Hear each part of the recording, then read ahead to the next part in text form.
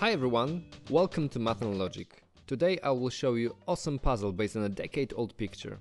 It was used to test power of observation and deduction of scouts in Soviet Union. They called them pioneers. Have a look at this picture and try to answer all 9 questions. Here is the picture, showing tourists at their camp. How much information can you get from it?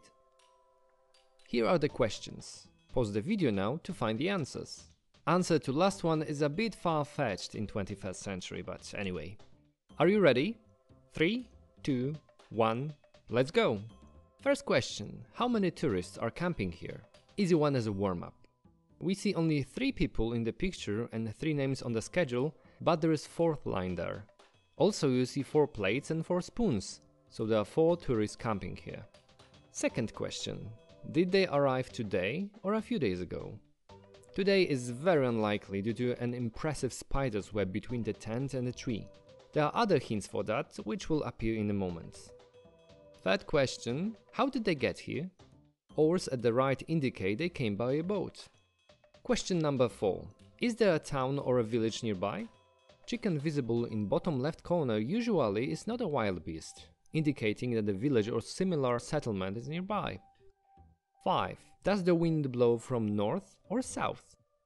Flag on the tent and also the flame indicate that the wind blows from the left, but is it south or north? At school you could learn how to find direction in the wild. We see a shadow, but we don't know the time of the day yet, so it will not help much.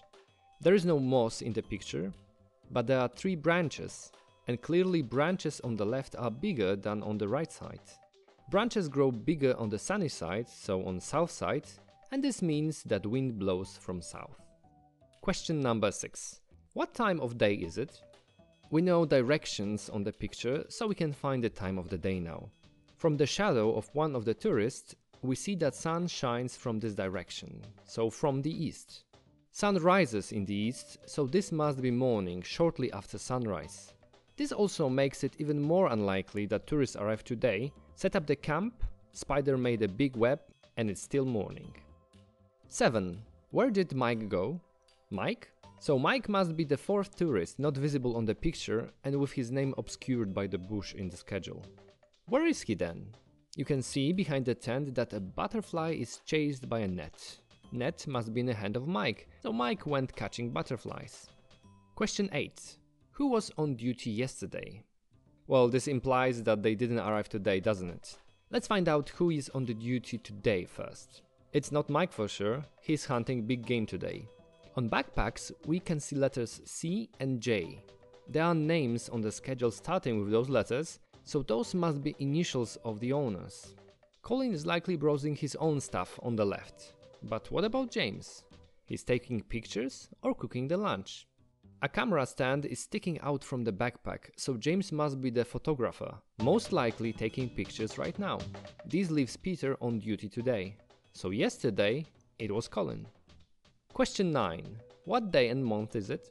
Yes, that last, a bit far-fetched one. The day is of course the 8th, according to schedule. But of which month?